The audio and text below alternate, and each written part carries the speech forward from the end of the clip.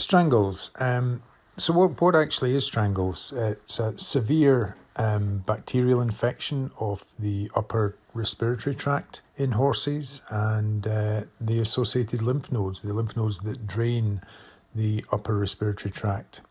It's a disease that's been recognized for centuries. Uh, it's effectively a global disease, which largely reflects the, the contagious nature of strangles uh, and, and also reflects the, the mobile horse population due to regular movements between premises within a country and even between countries. It's caused by a bacteria named Streptococcus equi, subspecies equi. For the remainder of this talk, we'll refer to it as Strep equi uh, in the interest of time. Um, and unlike its close cousin, um, which is named Strep equi subspecies zooepidemicus, um, Strep equi is not normal inhabitant of the equine respiratory tract, so it shouldn't really be there. And when it is there, it, it tends to cause a problem. So, why is strangles a concern? Well, it's got a high morbidity. Um, it's a concern because of the, the severity of disease in many cases. Um, it has a significant mortality, um, not as high as perhaps other conditions that we see, but certainly there are several reports in the literature of horses dying from this disease. Um, it has a prolonged clinical course and a prolonged recovery period. Um, and, and this obviously has an economic impact as well. And then also the potential complications that might occur in, in thankfully, the minority of cases uh, after contracting strangles is a concern as well. But I'd say one of the biggest concerns is the carrier status that we'll talk a, little bit more about in a second. The mode of transmission is really direct from horse to horse uh, or indirectly via what we call fomite, so shared utensils, buckets, um, you know, personnel clothing, that kind of thing. So the risk of a horse developing strangles is largely dependent on the propensity for exposure to either clinical cases or horses that are carrying the bacteria. And this level of risk is, is largely related to how close the population of horses is and what is the level of travel from a particular premises and mixing with other horses. So, the course of events um, with strangles is after exposure, um, the bacteria attaches onto the pharynx, the back of the throat.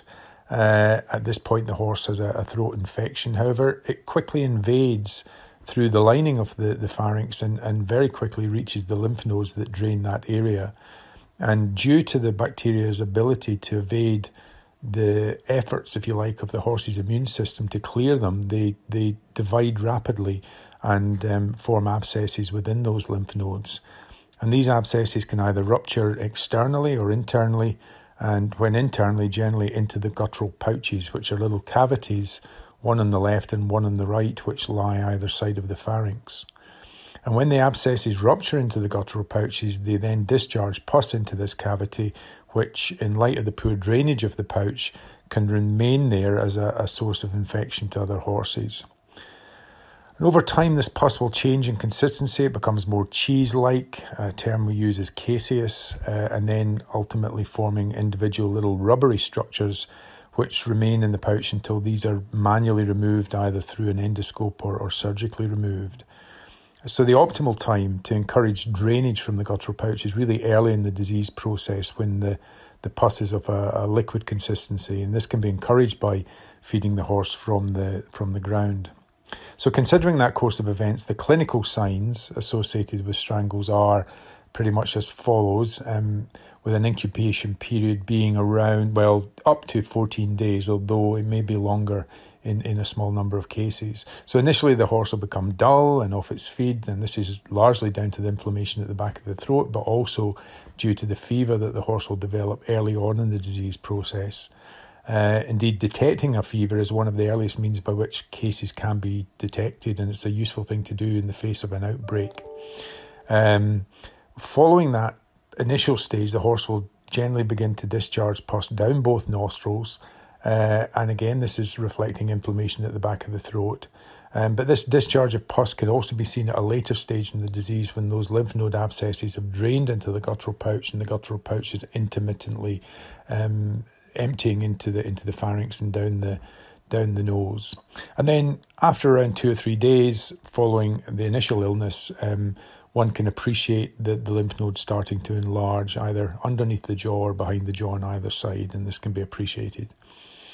It's worth noting um, that there's an increasing recognition of a milder form of strangles, we term this atypical strangles, which fails to present with the same level of severity as the typical cases. And although this is clearly better for the horse, it, it can be problematic as these cases can go undetected yet pose the same level of threat to other horses uh, as the, the more typical um, form of the disease will do. So, as the disease runs its course, there are, I guess you could say, three potential outcomes. Either the case will self and fully resolve, or the case will resolve clinically. However, the horse will remain a carrier because of the presence of residual pus and bacteria within the guttural pouch, or more rarely, thankfully, the case um, may develop secondary complications, and, and like I say, that that's that's a rarity. Although clinical signs are generally typical, um, diagnostic confirmation is often indicated, at least in the, the initial few cases, to determine you know the need to implement appropriate disease containment measures within the yard. So we kind of need to know that that's what we're dealing with, and that diagnostic confirmation really relies on the detection of bacteria from the back of the throat or from the guttural pouch, depending on the stage of disease that we obtain our samples. Or it might depend on the detection of an increase in what you could call anti strep equi antibody levels in the horse's blood over the course of the disease. This is a, a, what we term serology. And these diagnostic methods are also employed to detect carrier horses, although the sensitivity of serology in detecting particularly long term carriers is, is questionable. A preferred method really is to take samples directly from the guttural pouch, although this is considerably more invasive and expensive. Um, and the bacteria can be detected via culture um, or through the identification of bacterial DNA. This is a, a, methodology we term PCR, and that's considerably more sensitive than culture, and the result is generally more quickly available. What about the treatment of cases? Well, it's largely supportive. Drugs can be given to reduce fever and improve the appetite and demeanour of the case.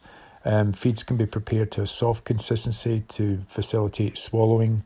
Um, nasal discharges and draining abscesses can be regularly cleaned. Um, the use of antibiotics is somewhat controversial as, as their use in a case with lymph node abscessation can delay maturation and rupture and ultimately draining of those abscesses. So it might just effectively be pressing the pause button for a short period of time. Considering the welfare and economic impact of strangles, then prevention of the disease is a considerably more attractive option compared with the cost and the movement restrictions and the welfare implications associated with an outbreak on a yard. Um, infectious disease prevention can be regarded really as having two main components, namely robust biosecurity measures and measures aimed at reducing the susceptibility or you could say increasing the resistance of uh, to infection in, in the host, in this case, the horse. So, biosecurity measures are based really on an appreciation of the modes of transmission of the disease from horse to horse, both direct and indirect, with efforts to minimize um, and at best avoid direct and indirect exposure of horses to clinical cases and to carrier horses. Efforts should be made to minimize disease introduction onto the yard in the first place. So, an adequate period of quarantine for any new arrivals is good practice, with additional efforts to confirm that these new arrivals, assuming that they are symptom free, are not potential strangles carriers. Inevitably, horses, to varying degrees, will move on and off yards, for example, to compete, and under such circumstances, the, the sharing of tack and utensils and feed and water buckets, etc., really should be avoided, both at the event and, and actually even within the yard in which the horse resides if possible. If a case does occur on a premises, then strict movement control should really be implemented, and horses should be divided into groups depending on their clinical status. And for example, a, a good way of, of detecting that early on would be a high rectal temperature. And their status with regard to recent contact with clinical cases um, should determine where they which groups they fall into. So the in contact group should be monitored daily, preferably twice daily, you know, with the rectal temperatures being taken to allow the early detection of those cases as clinical cases and therefore the early transfer into the clinical case group before they begin to shed the bacteria. So that's an important thing to do in the face of an outbreak to minimise spread within the, the yard. Um, currently, um, there is a new vaccine that's available, which has been shown to significantly reduce disease severity um, and also the risk of development of lymph node abscesses and also subsequently bacterial shedding as well. And although it's not 100% protective, like a lot of vaccines, and also like all strategies aimed at reducing disease prevalence, there is good evidence that, that vaccination when combined with, not instead of, uh, appropriate biosecurity measures, has the potential to positively impart a greater level of protection amongst the, the general horse population. So, hopefully, that's been a, a brief but an informative um, overview of the disease that we know as strangles.